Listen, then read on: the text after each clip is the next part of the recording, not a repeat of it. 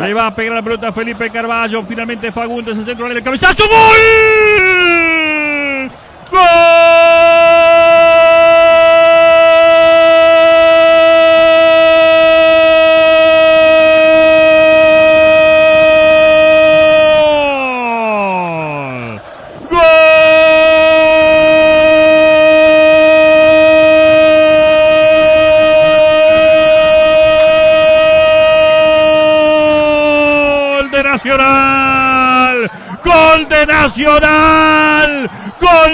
Nacional la borda. Gol de Nacional. El centro bien efectuado por Fagundes. Saltó una enormidad del jugador tricolor. La pelota abajo. Inatajable para Kevin Dawson. De córner nacional y de cabeza la borda. Nacional 1. Peñarol 0.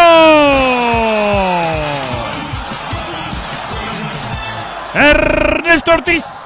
Todo el mérito para la borda, para su ubicación, pero que no es casualidad con lo que ha sido el transcurso del partido. Jugadores que entran a cabecear solos, absolutamente solos y sin marca, le da el destino adecuado, deja parado al arquero aurinegro y obviamente, obviamente, que no solamente era justo, era tardío ya que Nacional no anotara. Gana bien el tricolor.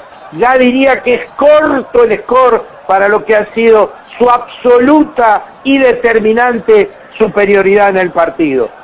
1 a 0 el conjunto de Nacional y otra vez un proyectil. Adelante, Leo, te escucho. Leonardo Escudero, 1 a 0 Nacional, Leo. Ahora tira un proyectil o cae un proyectil a la cancha desde la parcialidad carbonera. Matonte dialoga con respecto al gol. Bastante aguantó Peñarol, aguantó sin decir, ¿no? Porque Nacional siempre tuvo el partido en su mano, pero bastante resistió con el arco en cero. Y ahora en el córner todos miraron. Si querían mirar, hubiesen ido a la tribuna con las 2.000 entradas que le dieron. A Rat, que le gusta conversar, habría que decirle que tomara referencia de marca. Y a Milesi, que entró hoy para suplantar a Gargano, perdón, para suplantar a Cristóforo, lo que le faltaba era perder a la borda y que le cabeceara prácticamente con una cabeza de ventaja en su espalda. Gana bien Nacional 1 a 0. Bastante, bastante demoró Nacional en hacer el primer gol que lo justifica y que lo eh, estaba mereciendo de forma más que justificada. Las cosas de Leo Ramos. Ahí la entra la Nacional que lo saca el Pumita. La pelota viene para Suárez para matar de zurda. ¡Tiró! ¡Golazo! ¡Golazo! ¡Golazo! ¡Gol!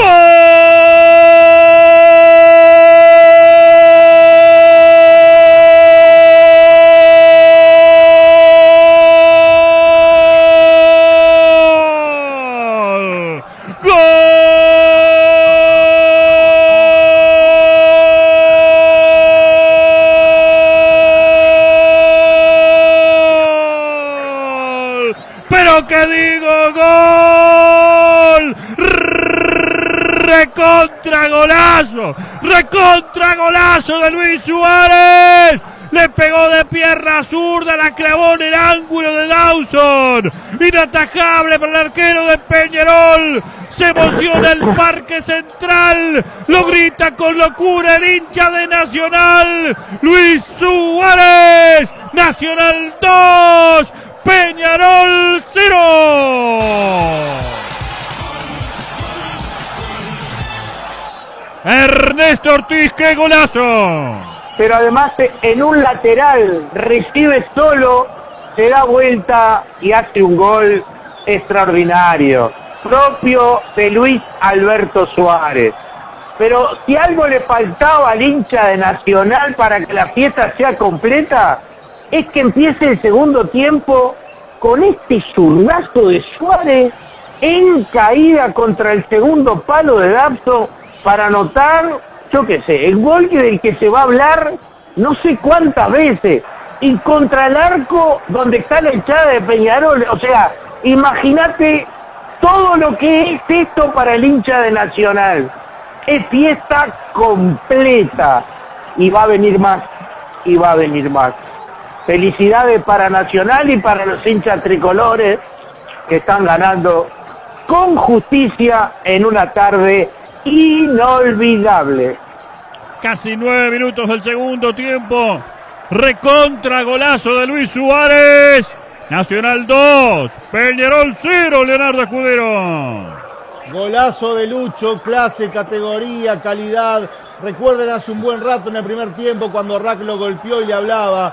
Y yo les decía, si Rack cree que hablándole a Suárez o golpeándolo lo va a amedrentar, lo va a sacar del partido, es no conocer la gran trayectoria, la gran carrera de este muchacho que se aburrió de hacer goles en todos lados y si le quedaba gana de hacer algún gol en Uruguay lo está haciendo ahora y si le quedaba gana de hacer un gol en el Parque Central lo está haciendo ahora y si le quedaba gana de hacerle un gol a Peñarol se lo está haciendo ahora. Peñarol está no, no está en campo de juego, ¿no? No, creo que no está. Nacional juega solo, gana bien 2 a 0 y se encamina, como bien se lo dijimos hace muy buen rato, hacia un resultado histórico. Y Leo Ramos, que va a hacer variantes, tendría que hacer, no sé, creo que no está permitido, ¿no? 11 variantes, no, creo que no está permitido. Y el 32 Rivero en Peñarol, ¿no? Sí. Sí, señor. 14 minutos, casi 15 ya del segundo tiempo. El superclásico del fútbol uruguayo. Lo mirás como podés. Lo escuchás por Radio Internacional, líder en audiencia deportiva. Como en noviembre, les vamos a contar la Copa del Mundo Qatar 2022. La pelota viene al sector izquierdo. La tiene Nacional con Cándido. Cándido hacia la pausa entre la marca de dos hombres. Sigue Cándido. La pelota va Cándido. Cándido hacia adelante buscando a Fagundes. Corre Carballo. No llega. Marca de fondo para Peñarol. La tiene en el fondo. La Quintana de pierna zurda. La saca al medio. De cabeza la tira hacia atrás. Luz Suárez. La corre a buscar Peñarol otra vez. Le queda la pelota a Gargano. El pase viene para Méndez. Méndez tira la pelota al sector izquierdo. Viene para Rivero. Ataca Peñarol. La tiene Hernán. Viene el centro al área. La saca Coelho de cabeza. De Peixini otra vez. Y el rebote le queda al equipo de Nacional. La va reventando en el fondo. Sacándola de cualquier manera. Lozano al pecho. En la media cancha de Cristóforo. La para Sebastián. Foul. Del Torito Rodríguez de ventaja de Matonte. Ataca Peñarol. El pase al medio. Le queda la pelota a Bentancur. Puede rematar al arco. Atención al arco. Puede ser Gargano. Se la pausa Lozano. El remate al arco. ¡Oh! Pegó el palo. Gol. ¡Gol!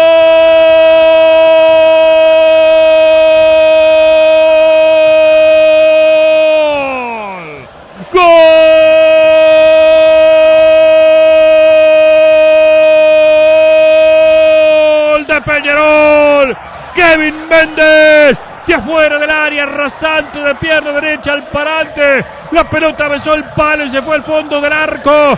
Se despierta Peñarol. Minuto 16, segundo tiempo. La hizo bien Peñarol. El pase atrás y el remate a la carrera de Kevin Méndez. Ahora descuenta Peñarol. Nacional 2. Peñarol 1. Ernesto Ortiz. Cuatro pases seguidos pudo hacer Peñarol y termina anotando un gol. Lo vio venir de frente Lozano, después de esa recepción que vino de aquel lado, tras el FAU que le hicieron a Cristóforo, que recuperó la pelota en la que se inicia la jugada y en un partido que no se veía por ningún lado, Peñarol se pone en partido milagrosamente con este gol de Kevin Méndez. Pero milagrosamente, sinceramente, milagrosamente. Hay una bengala dentro de la cancha. Una bengala dentro de la cancha. No se puede. cara. Va a sacar un pelotazo largo hacia adelante el arquero Roset. Saca un pelotazo largo después a la zona central del campo de juego. La viene a ganar de cabeza en el fondo. Da Silveira para Peñarol. El rebote le queda Nacional para Carballo. La tira para Suárez. Suárez la tira para Carballo. El pase al medio. Suárez. Marca Treza. Peleando dentro del área. Recupera Nacional. Le queda Candio para matar a colocar.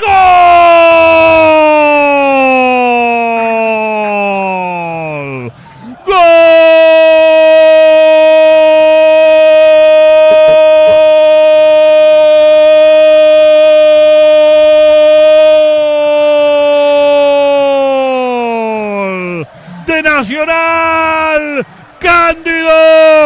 Con la pierna que no es hábil. Peleó dentro del área, nos dio la pelota por perdida, la recuperó, giró, le pegó con la derecha, abajo, al contrapié de Kevin Dawson, y la pelota fue a morir al fondo del arco, para la alegría del hincha tricolor, Nacional 3, Peñarol 1. Ernesto Ortiz. Y bueno, el 2 a 1 era raro, ¿no? Lo habíamos dicho. Milagroso, si no hubiera sido por el gol de Suárez, ¿no?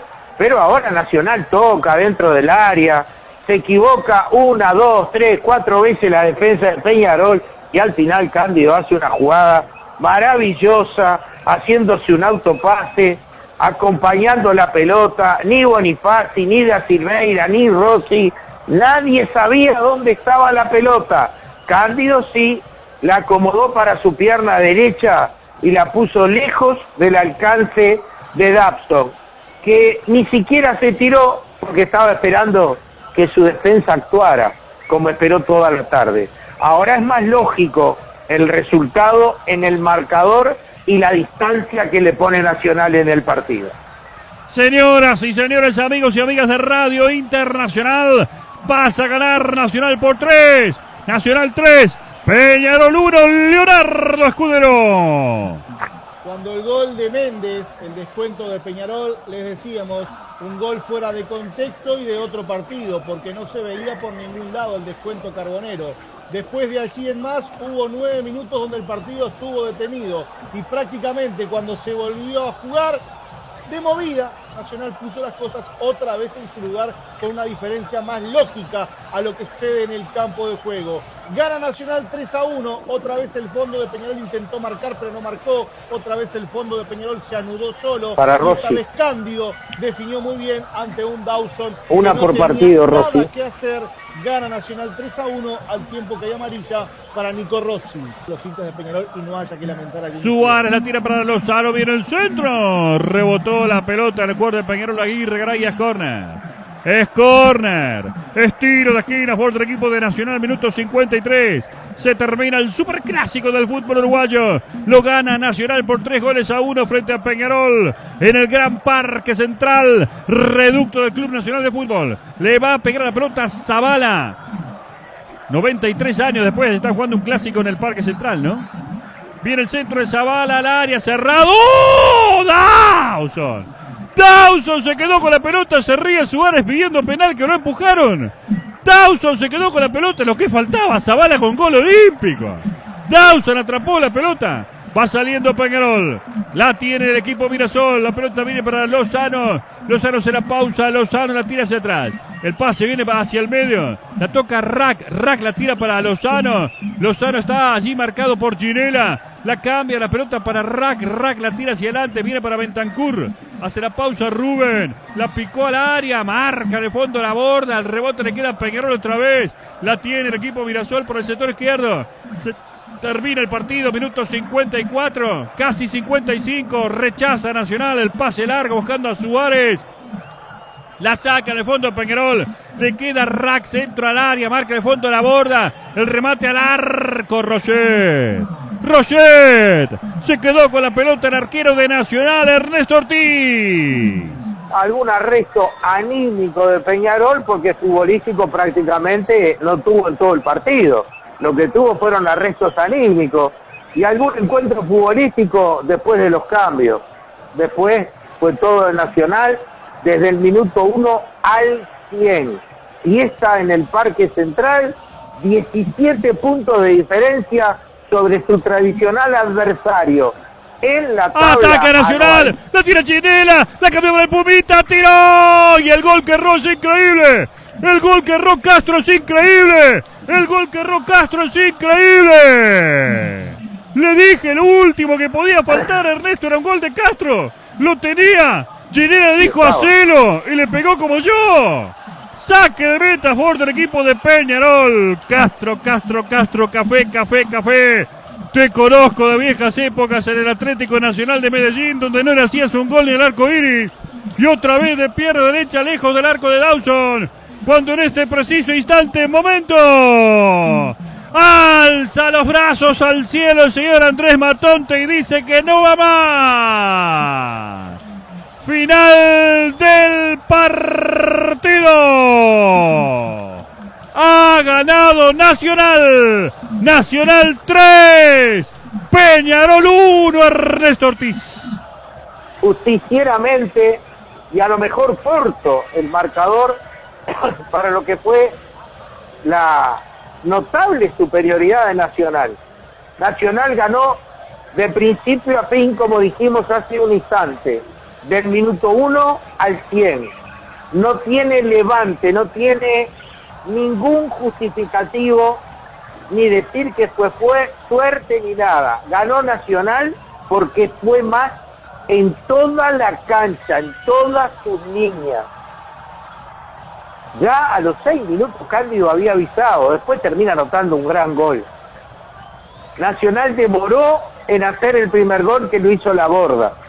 Después arrancó Suárez y en un lateral se mandó un golón, como para que festejara toda la gente, porque el, hijo pródigo, el que había vuelto, hacía un gol nada menos que en un clásico. ¿Y de qué manera? ¿Y qué gol? Descuenta Peñarol transitoriamente como para decorar y después Nacional encuentra el tercero y pudieron haber sido alguno más. Felicitaciones para Nacional, para su parcialidad, para su técnico, porque ha encontrado un equipo que a lo largo del torneo fue de menos a más. Tiene una línea de fondo sólida, un mediocampo que domina todos los sectores del campo y adelante a lo que ya tenía le agregó Suárez. No entró Gigliotti, como en el clásico, que podía haber sido una carta más de gol todavía, que tuvo alguna zozobra al final y que Roger tuvo muy buena intervención sobre el final del partido, es real, es verdad, pero Nacional fue muy superior, no había nada, no había por dónde mirar que el resultado pudiera variar. Lo de Peñarol, bueno, Peñarol está jugada la sexta fecha a siete puntos del puntero de clausura. Tenía, tiene que ganar ocho partidos. ¿Saben cuánto le queda? Ocho. No pueden perder más puntos. Si quiere tener chance de pelear en clausura, tiene que ganar los ocho, perdón, los ocho, sí, dije bien. Los ocho partidos, ocho o nueve, ahí ya me, ya me confundí. Le quedan nueve. Los nueve partidos, sí. Para mí está la sexta fecha, quedan nueve. Por eso, pero estamos en la sexta fecha, le quedan nueve. Los tiene que ganar los nueve. Y esto es, no es imposible, pero es improbable que Peñarol pueda ganar nueve partidos. Se le terminó el año hoy a Peñarol. Nosotros decíamos hace algunos partidos atrás, cuando el debut frente a Feni, que iba a pasar algo adentro y que se iba a ir la riera. Y vino Ramos y arrancó bien y hoy se le quemó todo a Ramos. Armó mal el equipo y sucumbió de una manera impensada frente a Nacional. ¿Que sabíamos que era superior? Claro que sabíamos que era superior. ¿Que era el favorito? Por supuesto que era el favorito. ¿Que si había un ganador debía ser Nacional? Y yo no creo que hubiera dos opiniones en contrario. Ahora, que fuera tan superior como fue Nacional hoy, que llegara a ser un baile en algún momento del partido como fue el que tuvo Nacional, llama la atención. Pero felicitaciones a Nacional, que los problemas de Peñarol no le importan felicitaciones a su parcialidad, a su cuerpo técnico y obviamente a los protagonistas, a los jugadores que escriben una página más de su rica historia. En el apertura lo ganó Peñarol en el campeón del siglo 1 a 0 con el gol de Cepelini de penal que a los pocos minutos fue expulsado, recordarán. Hoy lo gana Nacional, pero con absoluta autoridad, de principio a fin, sin polémica, sin bar mediante totalmente superior. Y la frutilla del postre con un gol de Suárez. Felicitaciones tricolores. Camino al campeonato uruguayo a ver si será o con Liverpool o si River sigue primero. Peñarol, todo parece indicar está knockout y fuera de la conversación, cerrando el peor año de los últimos que ha tenido el aurinegro a nivel internacional y a nivel local. Señoras y señores, Nacional contundente 3 a 1 frente a Peñarol. Leonardo Escudero. No me sorprende el resultado general del partido. Por ahí lo que me sorprende es que sea un 3 a 1, capaz que un 3 a 0, un 4 a 0, un 4 a 1. se ajustaba un poco más a la realidad de lo vivido en el campo de juego. Inoperante, inexistente, así fue el trabajo de Peñarol. No voy a decir el fútbol de Peñarol porque no lo vi. Pues voy a decir el trabajo de Peñarol, fue inexistente.